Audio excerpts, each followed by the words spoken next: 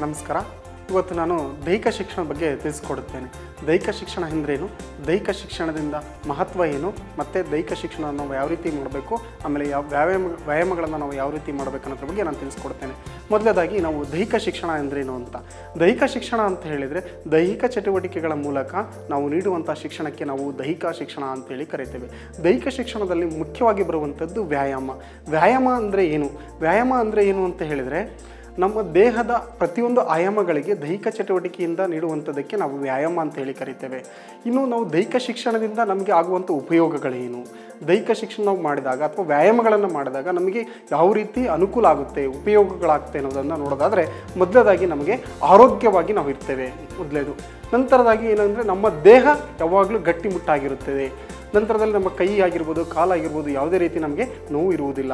ನಂತರದಲ್ಲಿ ನಾವು ಪ್ರತಿದಿನ ಎಕ್ಸಸೈಸ್ ಮಾಡೋದರಿಂದ ನಮ್ಮ ಆ ದಿನ ಪೂರ್ತಿಯಾಗಿ ನಾವು ಸಂತೋಷದಿಂದ, ಲವಲವಿಕೆಯಿಂದ ಇರ್ತೇವೆ ನಂತರ ನಾವು ನಮಗೆ ನಾಯಕತ್ವದ ಗುಣವನ್ನು ಬೆಳೀತದೆ, ನಮಗೆ ಏಕಾಗ್ರತೆ ಬರುತ್ತದೆ. ಆಮೇಲೆ ನಮಗೆ ಯಾವುದೇ ರೀತಿಯಾಗಿರ್ತಕ್ಕಂಥ ರಕ್ತದ ಒತ್ತಡ ಇರುವುದಿಲ್ಲ.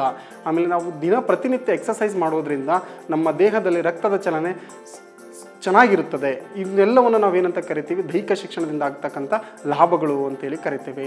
ಇಲ್ಲಿ ವ್ಯಾಯಾಮಗಳಲ್ಲಿ, ಮುಖ್ಯವಾಗಿ ವ್ಯಾಯಾಮಗಳನ್ನು ಎರಡು ರೀತಿ ವ್ಯಾಯಾಮಗಳು ಇರ್ತವೆ. ಒಂದು ಕುಳಿತು ಮಾಡುವಂಥ ವ್ಯಾಯಾಮ ಮತ್ತು ನಿಂತು ಮಾಡುವಂಥ ವ್ಯಾಯಾಮಗಳು. ಈ ವ್ಯಾಯಾಮಗಳಿಗಿಂತ ಮುಂಚಿತವಾಗಿ ನಾವು ನೋಡಬೇಕಾದ ನೋಡಬೇಕೇನು ಅಂತ ಹೇಳಿದರೆ, ದೈಹಿಕ ಶಿಕ್ಷಣ ಅಥವಾ ವ್ಯಾಯಾಮಗಳನ್ನು ಮಾಡೋದಕ್ಕಿಂತ ಮುಂಚಿತವಾಗಿ ನಾವು ಮುನ್ನೆಚ್ಚರಿಕೆ ಕ್ರಮಗಳನ್ನು ತೆಗೆದುಕೊಳ್ಬೇಕಾಗುತ್ತೆ. ಆ ಮುನ್ನೆಚ್ಚರಿಕೆ ಕ್ರಮಗಳು ಯಾವುವು ಅಂತ ಹೇಳಿದರೆ, ಮೊದಲನೇದಾಗಿ ನಾವು ಪ್ರತಿದಿನ ಬೆಳಗ್ಗೆ ನಾವು ಎಕ್ಸಸೈಸ್ ಮಾಡೋದಕ್ಕಿಂತ ಮುಂಚಿತವಾಗಿ ನಮ್ಮ ದಿನನಿತ್ಯದ ಕಾರ್ಯಕ್ರಮಗಳನ್ನು ಮುಗಿಸಿರಬೇಕು. ನಂತರ ನಾವು ಒಂದು ಲೋಟ ನೀರನ್ನು ಕುಡಿದಿರಬೇಕು. ಆಮೇಲೆ ನಮ್ಮ ದೇಹಕ್ಕೆ ಶೂಟಬಲ್ ಆಗುವಂತಹ ಉಡುಪುಗಳನ್ನು ದ, ಧರಿಸಿರಬೇಕು. ತುಂಬ ಟೈಟ್ ಆಗಿರುವಂತಹ ಉಡುಪುಗಳನ್ನು ಧರಿಸಿರಬಾರ್ದು. ಹಾಗೆ ತುಂಬ ಲೂಸ್ ಆಗಿರುವಂತಹ ಉಡುಪುಗಳನ್ನು ಸಹ ಧರಿಸಿರಬಾರದು. ನಂತರ ನಾವು ಎಕ್ಸಸೈಸ್ ಮಾಡುವಂತಹ ಜಾಗ ಅಥವಾ ವ್ಯಾಯಾಮಗಳನ್ನು ಮಾಡುವಂತಹ ಜಾಗ ತುಂಬ ನೀಟಾಗಿ ಸ್ವಚ್ಛತೆಯಿಂದ ಕೂಡಿರಬೇಕು. ಅಲ್ಲಿ ಯಾವುದೇ ರೀತಿಯಾಗಿರ್ತಕ್ಕಂತಹ ಕಲ್ಲು ಇರಬಾರ್ದು ಅಥವಾ ಡಸ್ಟ್ ಇರಬಾರ್ದು, ಚೆನ್ನಾಗಿರಬೇಕು.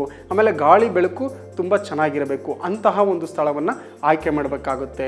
ನಮಗೆ ಸಪೋಸ್ ಆಗಿ ನಾವು ವ್ಯಾಯಾಮ ಮಾಡುವಂಥ ಸಂದರ್ಭದಲ್ಲಿ ನಮಗೇನಾದರೂ ತಲೆ ಚಕ್ರ ಬರುವಂಥದ್ದು ತಲೆ ಸುತ್ತುವಂಥದ್ದಾದರೆ ಅದಕ್ಕೆ ನಾವು ಪ್ರತಿದಿನ ಏನು ಮಾಡ್ಬೋದು?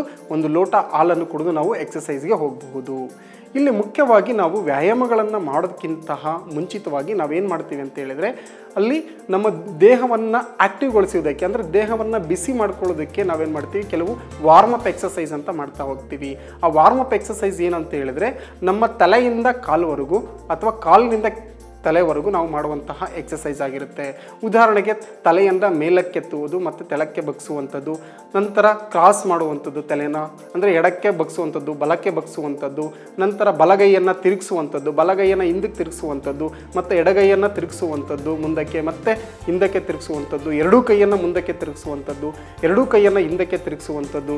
ನಮ್ಮ ದೇಹವನ್ನು ಮುಂದಕ್ಕೆ ಬೆಂಡ್ ಮಾಡುವಂಥದ್ದು, ನಂತರ ಮತ್ತೆ ಸ್ಟ್ರೈಟ್ ಮಾಡಿ ಮತ್ತೆ ಹಿಂದಕ್ಕೆ ಬೆ, ಬೆನ್ನನ್ನು ಬಾಗುವಂಥದ್ದು, ಮತ್ತು ಪಕ್ಕಕ್ಕೆ ಅಂದರೆ ಎಡಕ್ಕೆ ಬಾಗುವಂಥದ್ದು, ಬಲಕ್ಕೆ ಬಾಗುವಂಥದ್ದು, ಇವನ್ನೆಲ್ಲವನ್ನು ನಾವು ಏನಂತ ಕರಿತೀವಿ ಅಂತ ಹೇಳಿದರೆ ವಾರ್ಮಪ್ ಎಕ್ಸಸೈಸ್ ಅಂತೇಳಿ ಕರಿತೇವೆ. ನಂತರದಲ್ಲಿ ಕಾಲು, ಕಾಲಿಗೂ ಕೂಡ ಎಕ್ಸಸೈಸ್ ಇರುತ್ತೆ ಸೈಕ್ಲಿಂಗ್ ಇರುತ್ತೆ. ಇವನ್ನೆಲ್ಲವನ್ನು ನಾವು ವಾರ್ಮಪ್ ಎಕ್ಸಸೈಸ್ ಅಂತ ಹೇಳಿ ಕರಿತೀವಿ. ಈ ವ್ಯಾಯಾಮಗಳನ್ನು ಮಾಡೋದಕ್ಕಿಂತ ಮುಂಚಿತವಾಗಿ ನಾವು ವಾರ್ಮ್ ವಾರ್ಮಪ್ ಎಕ್ಸಸೈಸನ್ನು ಮಾಡಬೇಕು. ಅದಾದ ನಂತರ ನಾವು ವ್ಯಾಯಾಮಕ್ಕೆ ಬರಬೇಕು. ಇಲ್ಲಿ ವ್ಯಾಯಾಮ ಮಾಡೋಕ್ಕಿಂತ ಮುಂಚಿತವಾಗಿ ನಮಗೆ ಯಾವ ವ್ಯಾಯಾಮಗಳು ಶೂಟಬಲ್ ಆಗ್ತವೆ? ನಮಗೆ ಯಾವ ವ್ಯಾಯಾಮಗಳು ಸೂಕ್ತ ಎಂದು ನಾವು ತಿಳ್ಕೊಂಡು ಅಂಥ ವ್ಯಾಯಾಮಗಳನ್ನು ನಾವು ಆಯ್ಕೆ ಮಾಡಿಕೊಂಡು ಮಾಡಬೇಕು. ಯಾಕೆ ಅಂತ ಹೇಳಿದರೆ ನಮಗೇನಾದರೂ ದೇಹದಲ್ಲಿ ಏನಾದರೂ ತೊಂದರೆ ಇದ್ದಾಗ ನಾವು ಅದಕ್ಕೆ ವ್ಯಾಯಾಮಗಳನ್ನು ನಾವು ಏನು ಮಾಡಬೇಕು? ಬೇರೆಯವರಿಂದ ಅಂದರೆ ಒಳ್ಳೆ ಎಕ್ಸ್ಪರ್ಟ್ ಇರುವಂತಹ ಶಿಕ್ಷಕರು ಅಥವಾ ತರಬೇತಿದಾರರಿಂದ ನಾವು ಅವನ್ನ ವ್ಯಾಯಾಮಗಳನ್ನು ನಾವು ಕೇಳ್ಕೊಂಡು ಮಾಡಬೇಕು. ಆಗ ನಮಗೆ ಯಾವುದೇ ರೀತಿ ನಮಗೆ ತೊಂದರೆ ಆಗುವುದಿಲ್ಲ. ಇವನ್ನ ನಾವು ವ್ಯಾಯಾಮಗಳು ಅಂತೇಳಿ ಕರಿತೇವೆ. ವ್ಯಾಯಾಮಗಳಲ್ಲಿ ನಮಗೆ ಎರಡು ರೀತಿ, ಕುಳಿತು ಮಾಡುವಂಥವು ಐದು ವ್ಯಾಯಾಮಗಳು ಇರುತ್ತೆ, ನಿಂತು ಮಾಡುವಂಥವು ಐದು ವ್ಯಾ ಹನ್ನೊಂದು ವ್ಯಾಯಾಮಗಳು ಇರ್ತವೆ. ವ್ಯಾಯಾಮಗಳಾದ ನಂತರ ನಾವು ಡೈರೆಕ್ಟಾಗಿ ನಾವು ಆಟಗಳನ್ನು ನೋಡ್ಬೋದು ದೈಹಿಕ ಶಿಕ್ಷಣದಲ್ಲಿ. ಆಟಗಳಂತ ಹೇಳಿದ್ರೆ ಅಲ್ಲಿ ಎರಡು ಭಾಗಗಳಿರುತ್ತೆ. ಒಂದು ಒಳಾಂಗಣ ಕ್ರೀಡೆಗಳು ಮತ್ತು ಹೊರಾಂಗಣ ಕ್ರೀಡೆಗಳು ಅಂತೇಳಿ ಕರಿತೇವೆ. ಈ ಒಳಾಂಗಣ ಕ್ರೀಡೆಗಳು ಅಂತ ಹೇಳಿದರೆ ನಮಗೆ ಚೆಸ್ಸು, ಕೇರಮ್ಮು, ಶಟಲ್ ಬ್ಯಾಡ್ಮಿಂಟನ್ನು, ಬಾ, ಟೆನ್ನಿಸ್ ಬಾಲ್ ಇವುಗಳನ್ನೆಲ್ಲ ನಾವು ಒಳಾಂಗಣ ಅಂತೇಳಿ ಕರಿತೀವಿ. ಹೊರಾಂಗಣ ಅಂತ ಹೇಳಿದಾಗ kabaddi, khokho, volleyball, football, hockey ಇವುಗಳನ್ನೆಲ್ಲವನ್ನು ನಾವು ಹೊರಾಂಗಣ ಅಂತೇಳಿ ಕರಿತೇವೆ. ಅದರಲ್ಲಿ ಕೂಡ ಕ್ರಿಕೆಟ್ ಕೂಡ ಒಂದು. ಈಗ ನಾವು ಮುಖ್ಯವಾಗಿ ನಾವು ಅಂದರಿಗೆ ನಾವು ಯಾವ ರೀತಿ ದೈಹಿಕ ಶಿಕ್ಷಣವನ್ನು ಹೇಳ್ಕೊಡ್ಬೇಕು ಅನ್ನೋದನ್ನು ಈಗ ತಿಳಿಸ್ಕೊಡ್ತೀನಿ. ಅಂದ ಏನಪ್ಪ ಅಂತ ಹೇಳಿದರೆ ಮೊದಲೇದಾಗಿ ನಾವು ಏನು ಮಾಡಬೇಕು ಅಂತ ಹೇಳಿದರೆ ಫಸ್ಟು ನಾವು ಮಾಡಬೇಕಾಗಿರೋಂಥ ಸ್ಟೆಪ್ ಅಂತ ಹೇಳಿದರೆ ನಾವು ಅವರಿಗೆ ದಿಕ್ಕುಗಳನ್ನು ಪರಿಚಯ ಮಾಡಿಕೊಡ್ಬೇಕು. ಅಂದರೆ ಬಲ, ಎಡ, ಮುಂದೆ, ಹಿಂದೆ, ಮತ್ತು ಬಲ ಸ್ವಲ್ಪ ಮುಂದೆ, ಎಡ ಸ್ವಲ್ಪ ಹಿಂದೆ, ಲೆ ಎಡಗಡೆ ಸ್ವಲ್ಪ ಮುಂದೆ, ಎಡಕ್ಕೆ ಸ್ವಲ್ಪ ಹಿಂದೆ ಇವುಗಳನ್ನು ಎಂಟು ದಿಕ್ಕುಗಳನ್ನು ಸರಿಯಾದ ರೀತಿಯಾಗಿ ನಾವು ಪರಿಚಯ ಮಾಡಿಕೊಡ್ಬೇಕಾಗುತ್ತೆ. ಆ ಪರಿಚಯ ಮಾಡಿಕೊಡುವಂಥ ಸಂದರ್ಭದಲ್ಲಿ ನಾವು ಏನು ಮಾಡಬೇಕು ಅಂತ ಹೇಳಿದ್ರೆ ಪ್ರತಿಯೊಂದನ್ನು ಅವರಿಗೆ ಟಚ್ ಆ್ಯಂಡ್ ಫೀಲ್ ಮುಖಾಂತರ. ಅಂದರೆ ನಾವು ಹೋಗ್ಬಿಟ್ಟು ಅವರಿಗೆ ಕೈಯಿಂದ ಹಿಡಿದು ತೋರಿಸ್ಬೇಕು. ಯಾವುದು ಎಡ, ಯಾವುದು ಬಲ, ಯಾವುದು ಮುಂದೆ, ಯಾವುದು ಹಿಂದೆ ಅನ್ನೋದನ್ನು ನಾವು ಕರೆಕ್ಟಾಗಿ ತೋರಿಸ್ಬೇಕಾಗತ್ತೆ. ಅಲ್ಲಿವರೆಗೂ ಅವ್ರು ಯಾವುದೇ ರೀತಿಯಾಗಿ ಅವರಿಗೆ ದಿಕ್ಕುಗಳ ಪರಿಚಯ ಇರುವುದಿಲ್ಲ. ತದನಂತರದಲ್ಲಿ ನಾವು ಏನಂತ ಹೇಳಿದರೆ ಕಾಲುಗಳಿಗೆ ಕೂಡ ನಾವು ಅದೇ ರೀತಿಯಾಗಿ ದಿಕ್ಕುಗಳನ್ನು ಪರಿಚಯ ಮಾಡಿಕೊಡ್ಬೇಕು. ಮುಂದೆ ಅಂದರೆ ಏನು? ಹಿಂದೆ ಅಂದರೆ ಯಾವ ಕಡೆ? ಎಡಗಡೆ ಅಂದರೆ ಯಾವ ಕಡೆ, ಬಲಗಡೆ ಅಂದರೆ ಯಾವ ಕಡೆ ಅಂತ ಹೇಳಿಬಿಟ್ಟು ನಾವು ಅವರಿಗೆ ಕಾಲನ್ನು ಕೂಡ ಎತ್ತಿಡುವಂಥದ್ದು ಪಕ್ಕ ಕಿಡಿಸುವಂಥದ್ದು ಮುಂದೆ ಕಿಡಿಸುವಂಥದ್ದು ಹಿಂದೆ ಕಿಡಿಸುವಂಥದ್ದು ಇವುಗಳನ್ನು ಮಾಡ್ತಾ ಹೋಗ್ಬೋದು. ಇಲ್ಲಿ ಯಾವುದೇ ರೀತಿ ಅಥವಾ ಅಂದಾಗಿರ್ಬೋದು, ಬೇರೆ ಯಾವುದೇ ಡಿಸಬಲ್ ಆಗಿರ್ಬೋದು, ಯಾರು ಎಲ್ಲರೂ ಕೂಡ ದೈಹಿಕ ಶಿಕ್ಷಣವನ್ನು ಮಾಡ್ಬೋದು ಅಥವಾ ವ್ಯಾಯಾಮಗಳನ್ನು ಮಾಡ್ಬೋದು. ಯಾರು ಮಾ ಇವ್ ಅವ್ರಿಗಷ್ಟೇ ಸೀಮಿತ, ನಾರ್ಮಲ್ಗಷ್ಟೇ ಸೀಮಿತ, ಇವ್ರಿಗಷ್ಟೇ ಸೀಮಿತ ಅಂತೇಳಿ ಯಾವುದೂ ಇಲ್ಲ, ಎಲ್ಲರೂ ಕೂಡ ವ್ಯಾಯಾಮಗಳನ್ನು ನಾವು ಮಾಡ್ಬೋದು. ಅವ್ರಿಗೆ ಏನಂತ ಹೇಳಿದ್ರೆ ಮುಖ್ಯವಾಗಿ ನಾವು ಟಚ್ ಆ್ಯಂಡ್ ಫೀಲ್ ಮುಖಾಂತರ ನಾವು ಕಲಿಸ್ಬೇಕಾಗತ್ತೆ.